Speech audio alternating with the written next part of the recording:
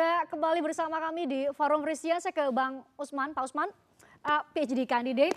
Apa yang Anda temukan, Anda tentu menelisik lebih dalam dengan metodologi yang bisa dipertanggungjawabkan. Apa yang terjadi dengan Indonesia dalam konteks polarisasi karena politik identitas? Ya, saya meneliti eh, populisme Islam di Pilkada DKI. Hmm, hmm. Dan populisme Islam itu tentu saja berawal dari politik identitas. Dalam hal ini politik identitas agama. Hmm Nah hasil penelusuran memang uh, saya membandingkan Orde Baru dengan Orde uh, reformasi. reformasi. Kalau Orde Lama memang tadi ada uh, demokrasi liberal dan lain-lain semua identitas keluar di situ tidak mengapa begitu kan. Nah cuma memang kalau kita lihat politik identitas itu menguat di era reformasi. Ya karena tadi demokrasi memang memberikan ruang. Ya tinggal lagi persoalannya adalah bagaimana mengelola. Identitas-identitas itu. Dia bisa dikelola secara politik dengan tiga instrumen sebetulnya. Yang pertama adalah policy, kebijakan, politik, hmm. kekuasaan, dan politi. Politi itu lebih ke etika begitu.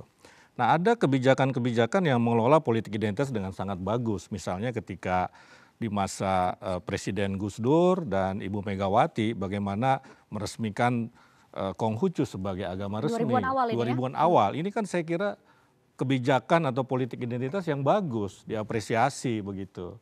Ya, tetapi ada yang uh, menyebabkan polarisasi itu tadi. Itu kalau dia menggunakan menonjolnya itu politiknya, merebut kekuasaannya itu yang menonjol dengan mengabaikan politi. Politi itu etika. etika ya? Nah, kira-kira seperti itu. Nah, itulah yang terjadi di sejumlah pilkada dan juga di pilpres terutama 2014 dan 2019. Nah menarik kalau ada yang mengatakan bahwa kalau ada perbedaan identitas hmm. di antara kedua kandidat maka muncullah politik identitas itu di 2014 Apakah kan seperti itu? Iya itu makanya saya mau cerita hmm, di okay. 2014 itu identitasnya sama-sama Islam. Okay.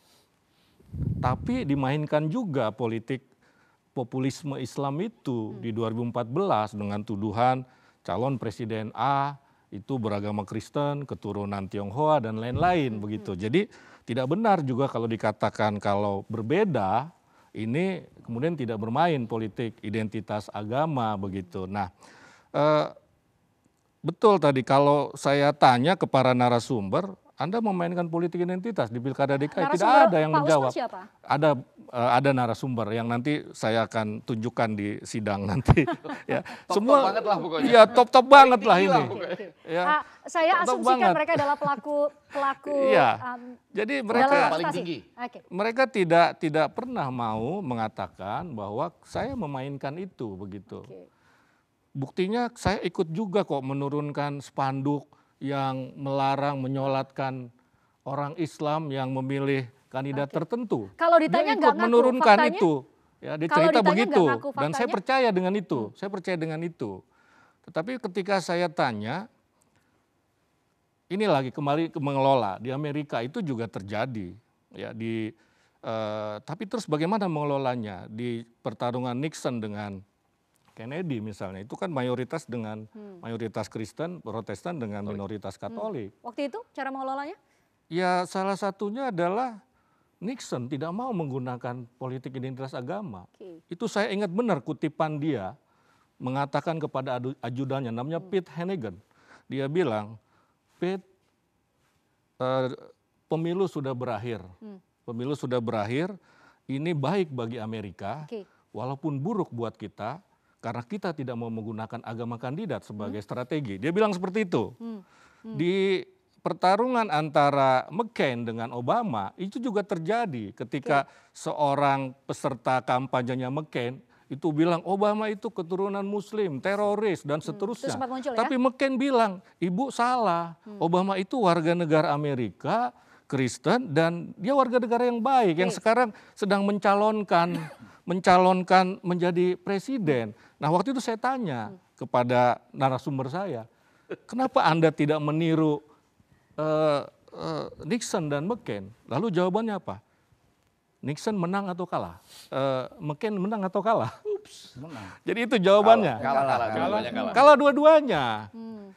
Kenapa Anda tidak Artinya kenapa Anda Anda tidak saja secara gitu ya? terbuka Oke. menolak itu? Oke. Menolak itu begitu loh. Saya tanyakan seperti itu. Lalu saya tanyakan kepada narasumber lain yang garisnya sama.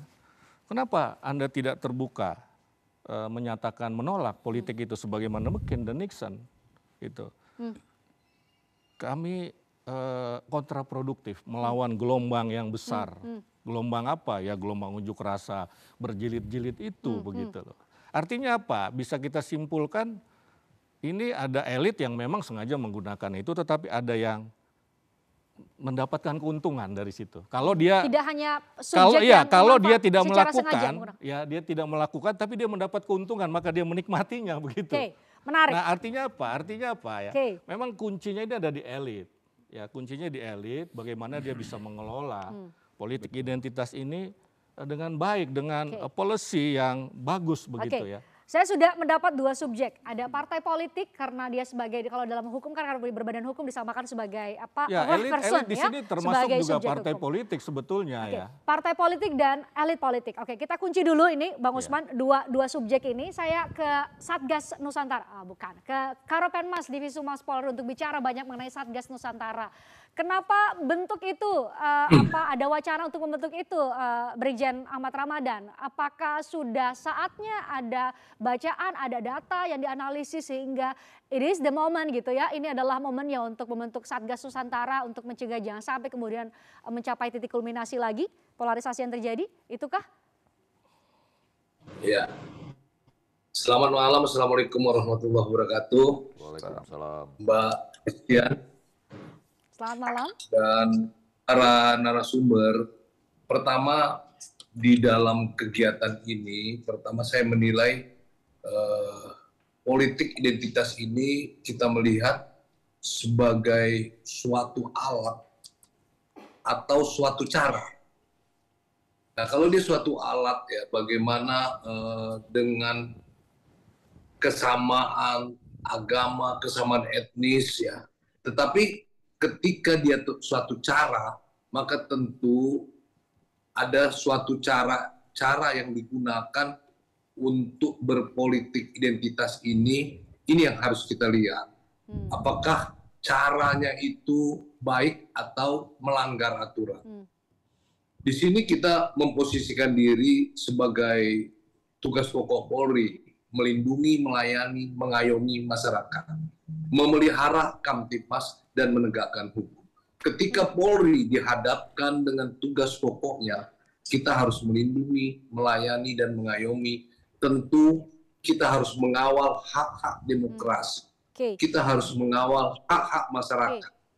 Tetapi ketika kita berposisi melakukan penegakan hukum, dihadapkan dengan politik identitas, maka eh, cara berpolitik identitas seperti eh, menghasut, Hmm. memprovokasi, kemudian upaya-upaya yang dilakukan mem- memberikan stigma negatif kepada yang bukan kelompoknya. Hmm. Nah ini yang kita lihat.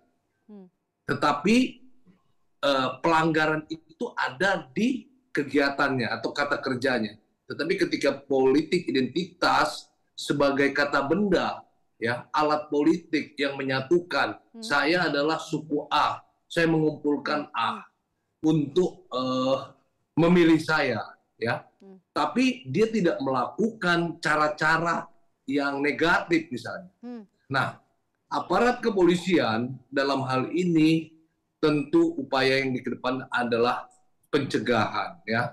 Kita mencegah disintegrasi bangsa. Kita Caranya? mencegah adu domba. Kita mencegah adanya provokasi Aha. ya. Caranya Kita Brigjen Ramadan? belajar atau berpengalaman di beberapa tahun yang lalu. Tentu kita tidak ingin terulang di 2024 Oke. seperti di pendahulu Mbak Presiden bicara kan. Nah, tentu hal ini jangan sampai terjadi. Satgas Nusantara merupakan pendingin ketika suhu sudah menghangat bahkan menjadi panas. Tentu upaya-upaya yang dilakukan ketika kita melihat politik identitas sudah bergeser kepada tindakan-tindakan seperti menghasut, menilai stigma negatif. Pokoknya kalau nggak sama dengan saya jelek, nah dengan cara-cara menghasut, nah itulah kita melakukan pendinginan, melakukan Penghasutan, ya? edukasi, melakukan pencegahan. Hmm. Oke. Kira-kira seperti Oke, itu, Mbak salah satu unsur yang sementara. harus dibuktikan adalah menghasut atau dalam bentuk manifestasinya adalah hate speech ya, dalam provokasi itu dalam uh, apa, apa ruang publik nyata maupun ruang publik digital. Jadi tegas betul ya pembedanya ya.